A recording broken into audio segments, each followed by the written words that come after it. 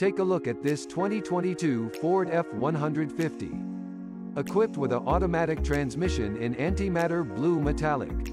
This car comes with some great features including Android Auto, lane departure warning, anti-lock brakes, Apple CarPlay and more. Come in and check it out today.